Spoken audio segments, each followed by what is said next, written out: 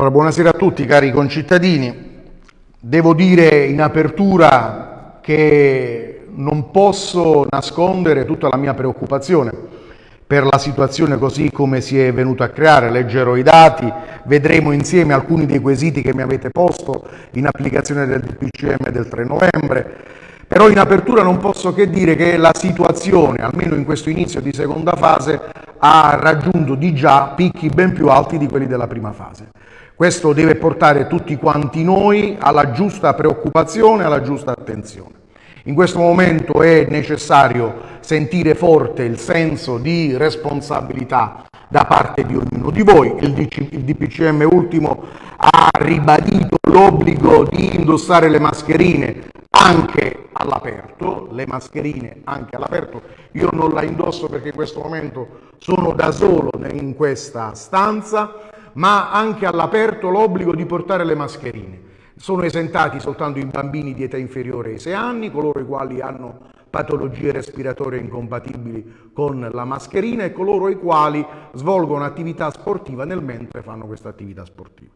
C'è bisogno quindi di grande senso di responsabilità e c'è bisogno anche di massima attenzione verso tutta una serie di disposizioni che insieme cercheremo di commentare e cercheremo appunto di eh, vedere e di analizzare. In questo momento però è necessario che nella nostra comunità ci sia anche il massimo di coesione possibile.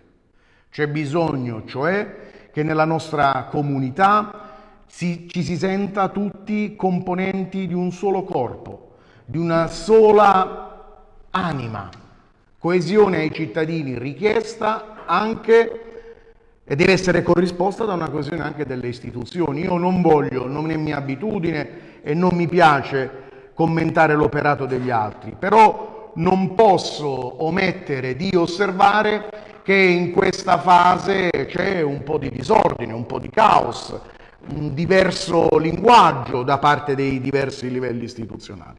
In questo momento noi possiamo eh, chiedere coesione ai cittadini nel momento in cui parliamo tutti lo stesso, lo stesso linguaggio, nel momento in cui siamo come istituzioni coese.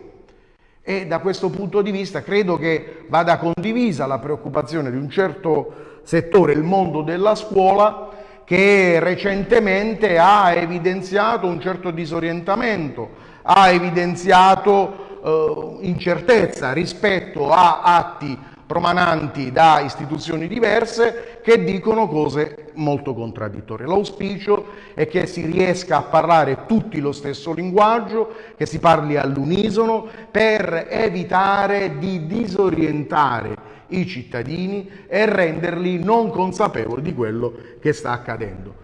Mi dicono che c'è un, una problematica del microfono, allora, che non si sente bene. Si è sentito quello che abbiamo detto finora? Quindi parlerò così.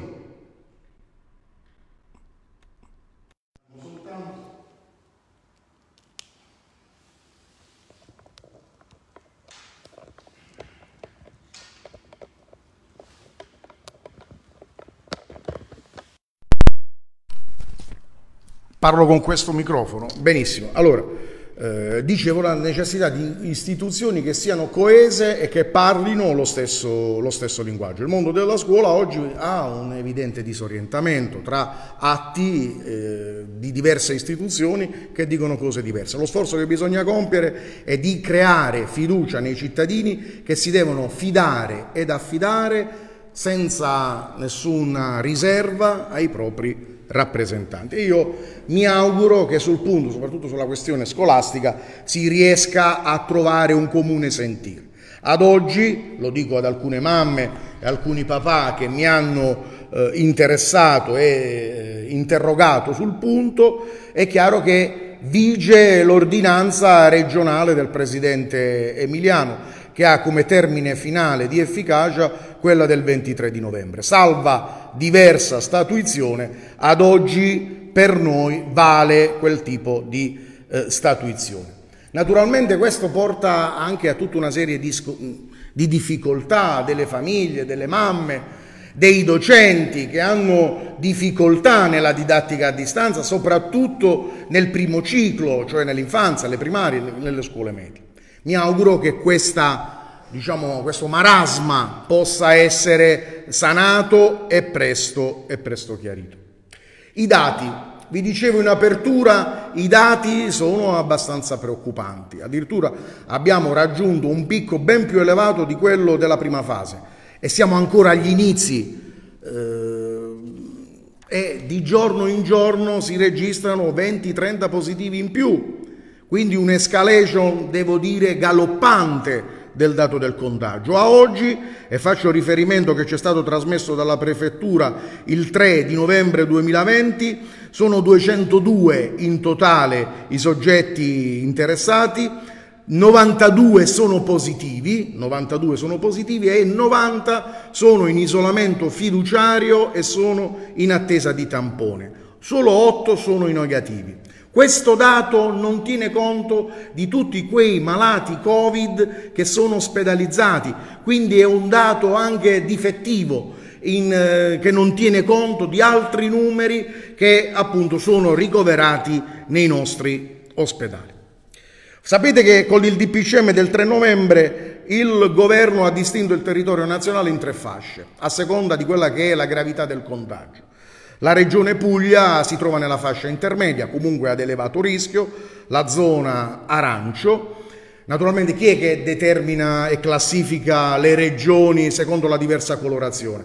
È stato affidato a un provvedimento del Ministro della Salute, del Ministro Speranza, che ogni 15-20 giorni secondo i dati epidemiologici, va a classificare o a riclassificare l'area la, regionale. Ciò significa che ad oggi Regione Puglia, seppur inserito nella fascia intermedia, se il trend è crescente potrebbe ritrovarsi fra 15-20 giorni nella zona rossa con limitazioni ancora più pesanti di quelle della zona arancio di cui parleremo stasera. Se al contrario invece il trend dovesse essere positivo, la riclassificazione potrebbe essere più generosa e quindi farci passare dalla zona arancio, quella intermedia, a quella a minor contagio, quella verde, che chiaramente prevede un regime di restrizioni sicuramente più leggero. Ad oggi noi siamo nella zona arancione, ecco il senso di responsabilità che dicevo prima, dobbiamo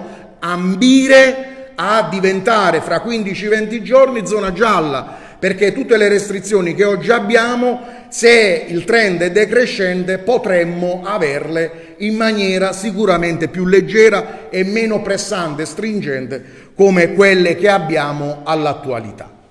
Ad oggi c'è posto dal DPCM il divieto di circolazione dalle ore 22 alle ore 5 del mattino. Quindi una sorta di coprifuoco, passatemi questa terminologia, di ritirata collettiva che scatta alle ore 22, che vale per ognuno di noi.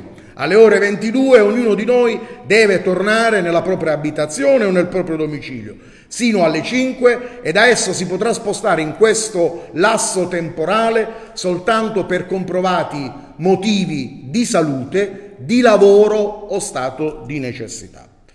La zona arancio pone anche un divieto di trasferimento da regione a regione.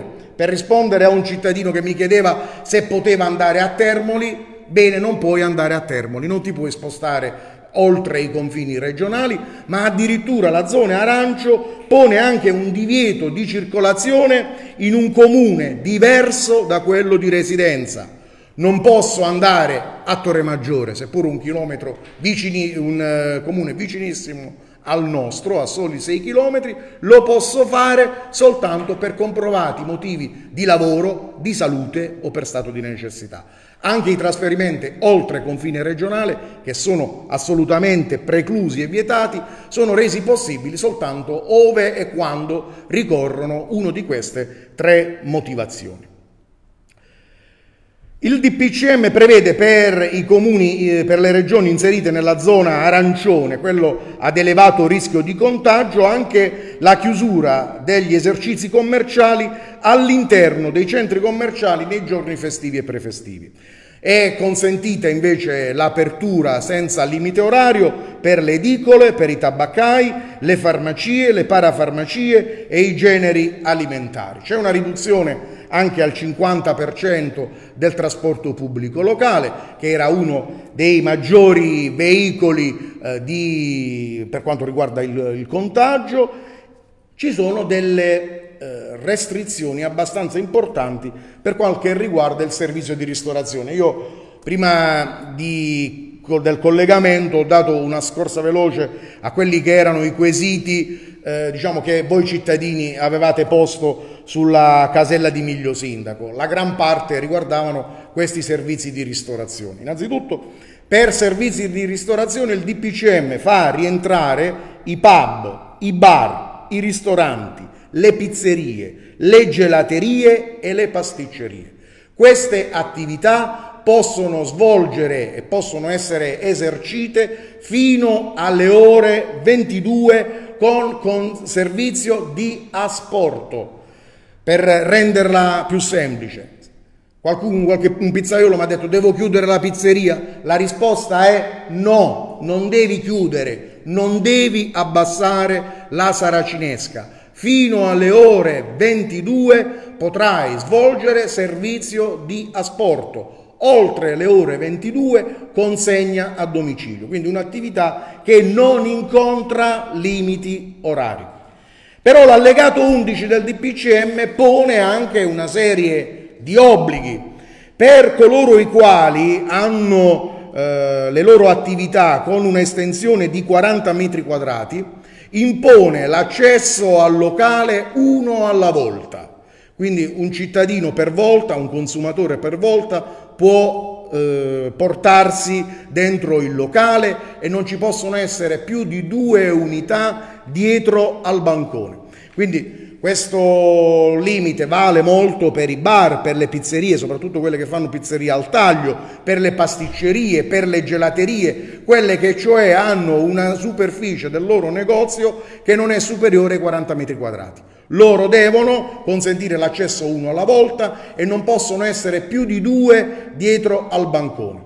Che significa servizio da sporto? Significa che il prodotto non può essere consumato in loco. Ciò significa che nei controlli che verranno fatti si verificherà effettivamente questo. Allora faccio un esempio. Un bar, se dovesse arrivare un agente di polizia locale, cosa verificherà? Verificherà innanzitutto se sotto la macchinetta del caffè vi è una tazzina piuttosto che un bicchiere di plastica, che è un tipo di strumentazione che non è predisposta all'asporto ma piuttosto alla consumazione in loco. Lì chiaramente c'è la violazione del DPCM perché significa che l'esercente di quel bar non stava facendo asporto ma stava invece consentendo la consumazione nel locale che è assolutamente vietata. Allora si verificherà che sotto la macchina, sotto la macchinetta del caffè, vi è il bicchiere eh, in polistirolo che solitamente viene ricoperto con un eh, coperchio di plastica e che quindi diciamo, è un tipo di eh, recipiente che è compatibile con l'asporto. Il cittadino una volta che ha preso il prodotto si deve portare fuori dal locale, quindi non può consumarlo all'interno né nelle adiacenze né nelle vicinanze del bar. Quindi anche la consumazione all'ingresso del bar o in un luogo adiacente prossimo all'esercizio, al bar incontra la sanzione ed è quindi diciamo, eh, vietato dal DPCM. Si deve svolgere assolutamente fuori. Se invece il, il, bar, piuttosto che il ristorante, piuttosto che la pizzeria, non al taglio ma al piatto, ha una superficie superiore ai 40 metri quadrati, bene, qui l'accesso è consentito a più di uno, ma sempre nel rispetto del distanziamento sociale. Il DPCM qui per gli esercenti pone un obbligo ben preciso L'obbligo è di esporre all'ingresso della propria attività la superficie, l'estensione del proprio bar e quindi quante persone possono congiuntamente, contestualmente stazionare in quel, in quel bar. a dire se ho una pizzeria di 80 metri quadrati, devo esporre eh, nella pizzeria il cartello che mi dice che la superficie del mio locale è di 80 metri quadrati e che stando le disposizioni di distanziamento sociali ne possono stare insieme non più di un certo numero. È un obbligo anche questo che sarà controllato ed eventualmente sanzionato. Nel locale, nell'attività commerciale bisogna anche esporre il cartello che invita il cittadino, il consumatore, l'utente del servizio di ristorazione a consumare fuori dal locale né nelle adiacenze e né nelle vicinanze. Quindi suggerisco a tutti gli esercenti all'ingresso del proprio bar, della gelateria, della pasticceria, eh, della pizzeria al taglio di esporre questi due cartelli. Uno è espressamente richiesto dal DPCM, l'altro è un suggerimento che sommessamente si sente di fare a voi il vostro, il vostro sindaco. Quindi per quel che riguarda questi sono diciamo più o meno le questioni che mi erano state poste dai, da voi, soprattutto quelli che gestiscono attività rientranti da quelli definiti servizi di ristorazione. Certamente non è consentita assolutamente la consumazione al tavolo, al banco o nelle adiacenze del locale. Quindi a prescindere da quella che può essere la superficie del locale, l'unica eh, modalità di consumazione del prodotto consentita sino alle ore 22 è quella di asporto. La consegna a domicilio anche oltre eh, diciamo, questo limite orario delle ore 22. A questa disciplina fanno eccezione soltanto queste attività di ristorazione che sono su autostrade, negli aeroporti o negli ospedali Invece soggiacciono a questa disciplina tutti quei servizi di ristorazione che sono nelle stazioni ferroviarie, nelle aree di servizio dei centri urbani, quindi per i quali eh, sussistono, come per tutti gli altri bar e tutte le altre attività, gli stessi obblighi e gli stessi divieti che poc'anzi abbiamo eh, diciamo, enunciato ed illustrato. Sono chiuse le palestre, le piscine, i centri benessere, è consentita attività motoria soltanto in luoghi aperti, presso centri sportivi, sono consentite le attività di riabilitazione e le attività terapeutiche.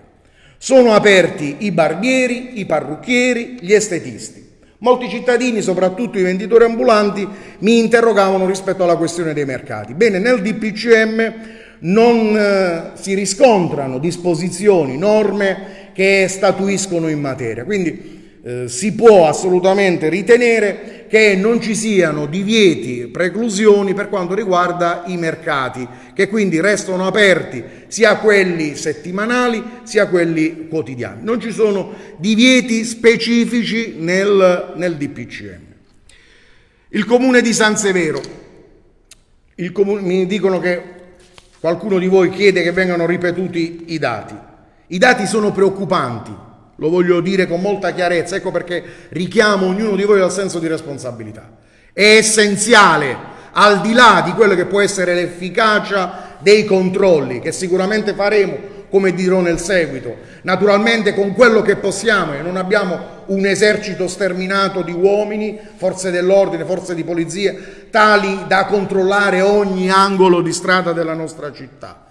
Però stiamo producendo il massimo sforzo a fronte di dati che allo Stato, eh, il 3 novembre, sono preoccupanti. 92 positivi, 90 inattesi di tampone, soltanto 8 risultati negativi al tampone dati che non conteggiano i malati di Covid che sono ospedalizzati. Quindi i numeri reali sono ancora maggiori rispetto a quelli poc'anzi letti, addirittura sono superiori proprio perché in questa fase c'è tanto sommerso, ci sono molti eh, diciamo, affetti dal Covid-19 che sono asintomatici, quindi eh, sfuggono totalmente ad ogni tipo di controllo proprio perché non presentano alcuna sintomatologia. Quindi sono dati estremamente preoccupanti. Solo per dirvi, farvi un esempio, eh, il giorno precedente a, al 3 di novembre i positivi al Covid erano 70, il giorno successivo sono schizzati a 92 cioè vi è una variazione in aumento di giorno in giorno di oltre 20 unità. E nella prima fase non avevamo mai, dico mai, registrato un incremento così significativo. Ecco perché questa seconda fase si presenta molto più preoccupante di quella precedente.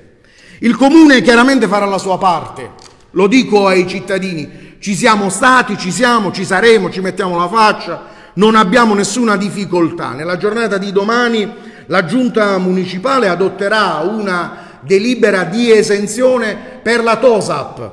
Eh, mm, l'esenzione TOSAP verrà prolungata sino al 31 dicembre 2020, così come noi facoltati dal decreto legge 109 del 14 agosto del 2020. Quindi l'esenzione verrà prolungata sino al 31 dicembre 2021, 2020.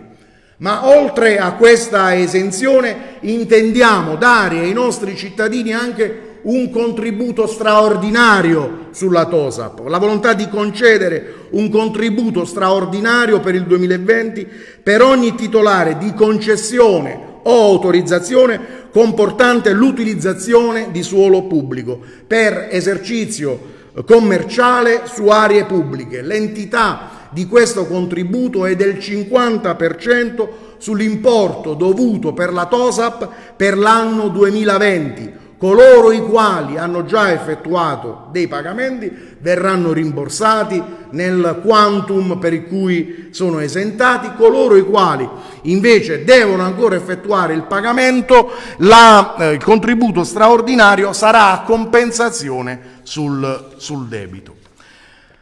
Ci vogliamo impegnare per i controlli, certamente, e martedì verranno assunti altri quattro agenti di polizia locale a tempo determinato e confidiamo di scorrere ulteriormente la graduatoria del concorso a suo tempo svolto per agenti di polizia locale. Vogliamo dare una mano anche all'ASL rispetto alla situazione del contagio particolarmente grave. È in corso un'interlocuzione istituzionale con Regione Puglia e con l'ASL Foggia da parte del Comune di San Severo in cui noi diciamo per effettuare eh, i controlli mettiamo a disposizione dell'ASL aree di proprietà comunali per fare il drive-thru, eh, drive-thru cioè un'area in cui i cittadini, stando nella propria auto, potranno arrivare, sottoporsi a tampone e andare via senza mai scendere dalla propria auto. In questo momento in cui il contagio è galoppante, i drive che sono attualmente disponibili sono insufficienti, si crea incolonnamento, si creano file di attesa. Allora noi abbiamo detto a Regione Puglia e ad ASL che siamo disponibili sin da domani a mettere a disposizione aree di nostra proprietà su cui ASL potrà attrezzare dei drive-thru.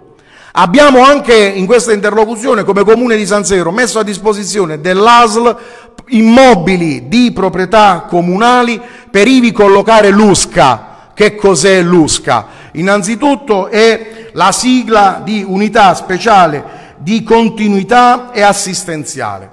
È praticamente una rete di medici che gestisce i malati Covid non ospedalizzati.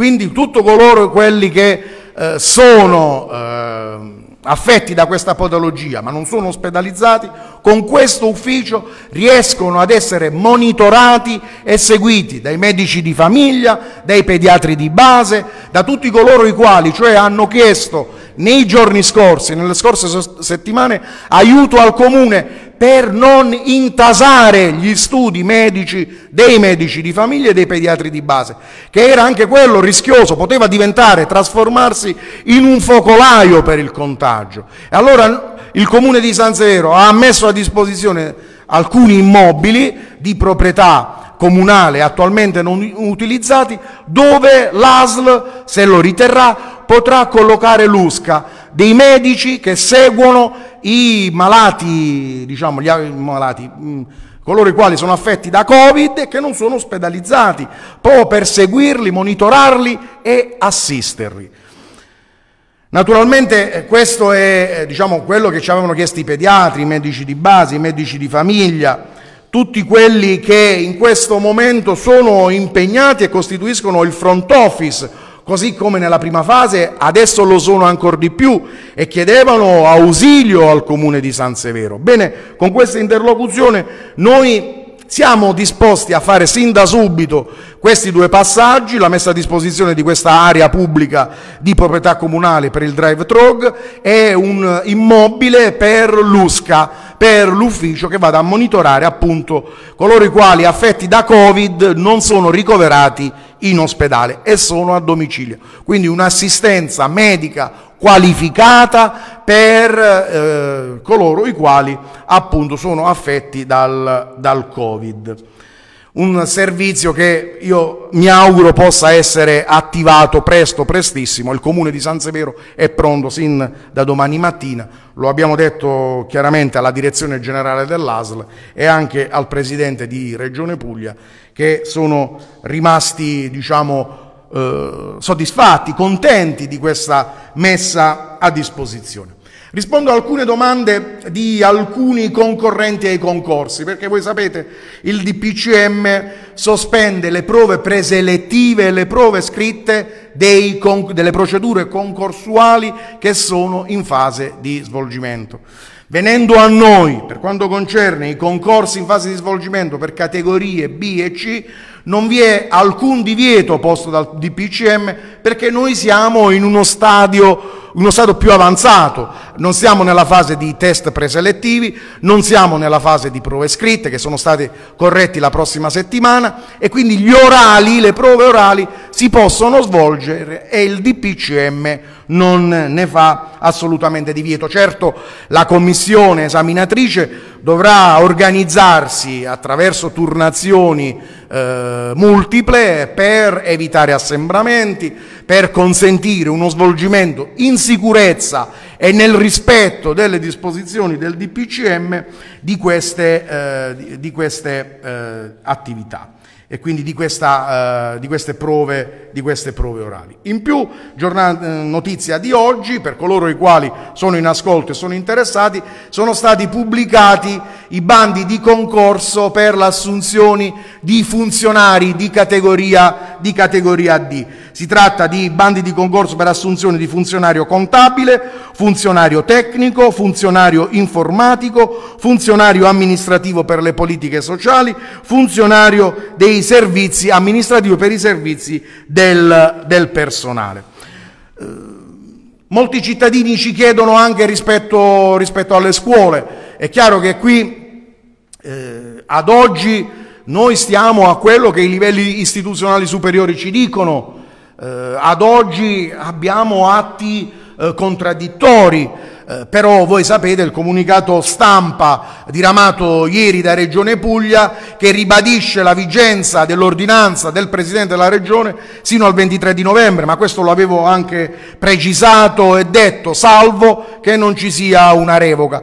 Certo è quello che va evitata è questa cloaca e questa moltitudine di linguaggio che disorienta il cittadino e va anche a scemare la fiducia del cittadino nelle istituzioni, soprattutto quando questi provvedimenti sono il frutto di una istruttoria da parte della comunità scientifica, perché immagino che il DPCM del 3 novembre del Presidente Conte è frutto di un'istruttoria tecnica fatta dal Comitato Tecnico Scientifico, come lo è l'ordinanza del Presidente Emiliano, che è il frutto di un'istruttoria di scienziati coordinati dal professor Lopalco, da qualche giorno anche assessore alla salute di Regione Puglia. Allora se si perde fiducia nella, nelle istituzioni, ma anche nella comunità scientifica, davvero diventa tutto molto rischioso, davvero diventa complicato eh, chiedere ai cittadini di rispettare le disposizioni e soprattutto di essere coesi e uniti rispetto ai propri rappresentanti.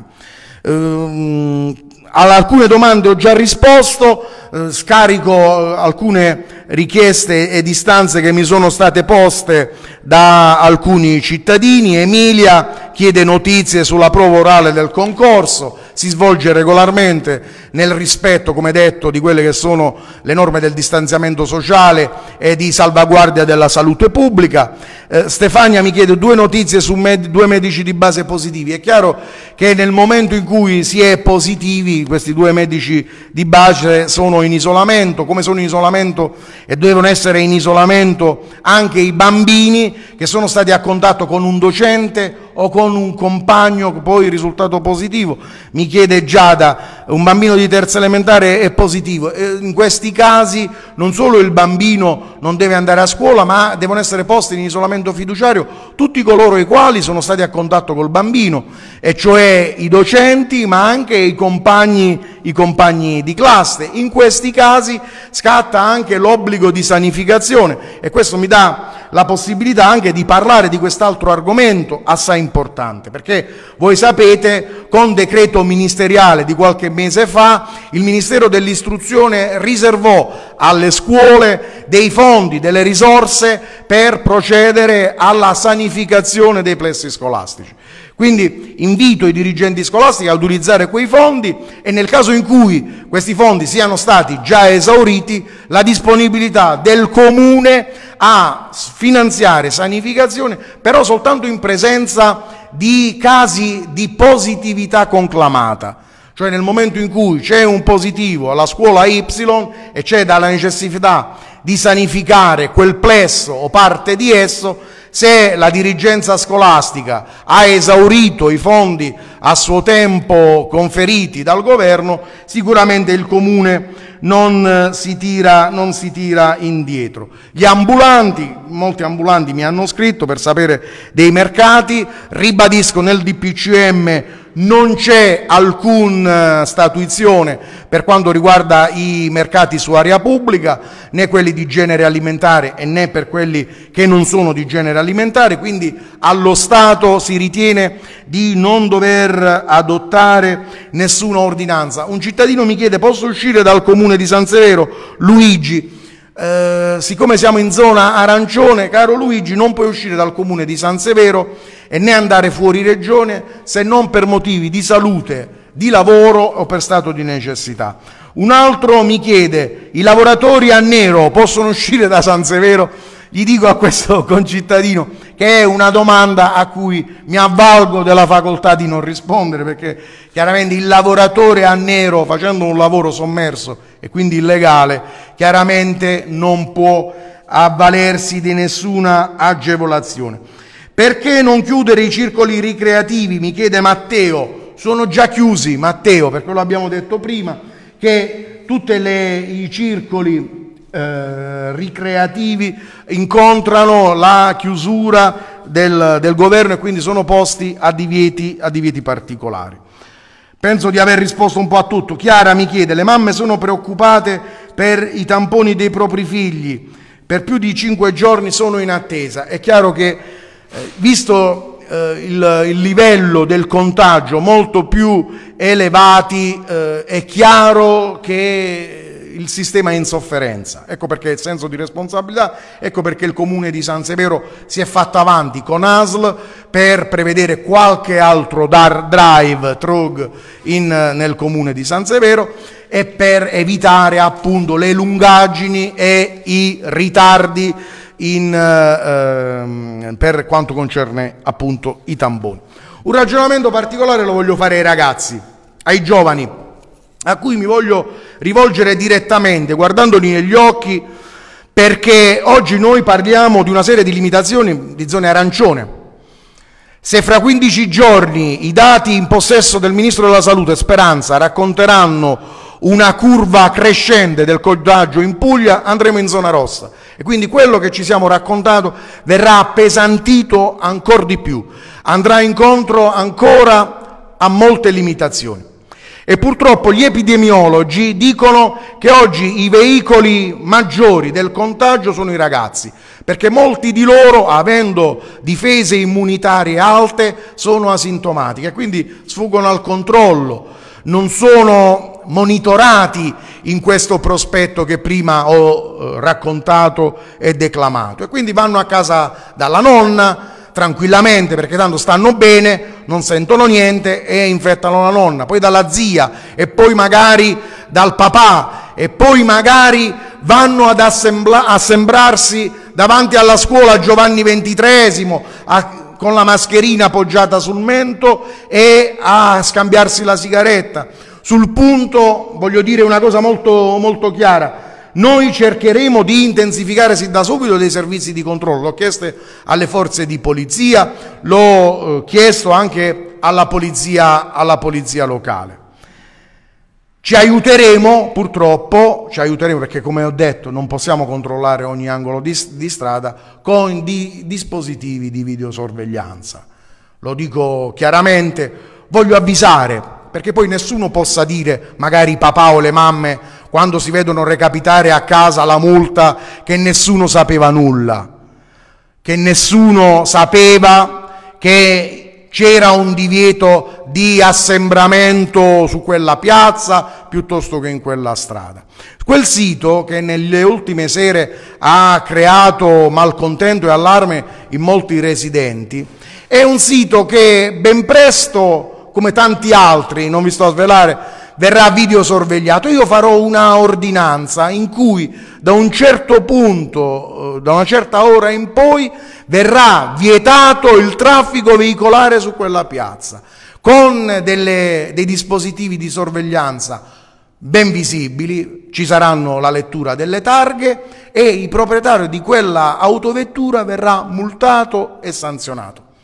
Questo perché è da tempo che diciamo ai ragazzi che devono evitare di stare buttati in mezzo alla via senza far nulla, soltanto dando gambe veloci al virus, propagandone il contagio. Ora c'è l'obbligo di stare a casa alle 22 e coloro i quali saranno trovati fuori dell'uscio di casa oltre questa, questo limite orario verranno sanzionati. Noi cercheremo di attivare un meccanismo di controllo che sarà severo a questo punto, non sarà più benevolo come un tempo. Inizialmente si era detto, in una fase iniziale, invitiamo le persone a non assembrarsi, ad indossare le mascherine, magari saremo comprensivi con loro. Allora questo atteggiamento, questo approccio, visto i dati, non è più consentito, adesso bisogna sanzionare e multare. Ai mercati, per la strada, coloro i quali con la mascherina sul eh, polso piuttosto che sotto il mento o tenuta per mano verranno multati perché il DPCM del 3 novembre ha posto l'obbligo per tutti, anche in spazi aperti, di tenere la mascherina. Quindi voglio preannunciare che da questo punto di vista si cambia registro. Non ci piace farlo, ma lo dobbiamo fare perché se il trend del contagio sale e andiamo in zona rossa, veramente non possiamo eh, più eh, controllare la, la situazione. Per quanto riguarda il comune di San Severo, eh, chiudo perché questa, oh, stasera non voglio essere lungo, non voglio essere tedioso.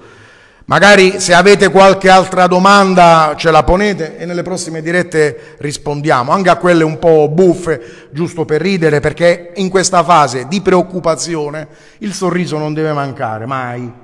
L'ottimismo, la fiducia è energia per risolvere i problemi, non sottovalutazione dei problemi. Il problema è serio, però il sorriso, serve l'ottimismo come energia per affrontare e risolvere il problema. Qualche cittadino mi ha, ha chiesto a me e ad altri esponenti dell'amministrazione notizie sul nostro stato di salute. Voi sapete che qualche caso di positività c'è stato nei giorni scorsi in amministrazione, qualcuno è preoccupato perché si è sparsa via Whatsapp un messaggio che racconterebbe amministratori malandati in, eh, in, cattivo stato di salute. Non faccio le imprecazioni del caso, ma dico a tutti che con l'aiuto del Padre Eterno e delle persone che ci vogliono bene, anche da lassù, stiamo bene. Quindi non vi preoccupate, stiamo qui, non facciamo un passo indietro, ci mettiamo la faccia, coraggio, ottimismo ma responsabilità e mi rivolgo soprattutto alle mamme e ai papà. Responsabilità in questo momento che è un momento delicato e grave. Delicato e grave.